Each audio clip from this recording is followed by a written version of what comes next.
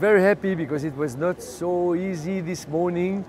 Uh, you know, the airplane had a little hitch, a little, little problem, so we were all uh, quite nervous uh, because the window and the weather window was quite short. So now, thanks God, it worked. There was nothing serious, and this first day was really, uh, really fantastic. But I was very, I mean, so much absorbed that I was doing, I forgot it was the first leg. And now I realize, you know, after landing here in Oman with these fantastic receptions, what it means there.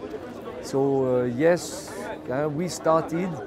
Now it's up to us uh, to, uh, to make sure that what we worked on for 12 years is really the right answer to our challenge.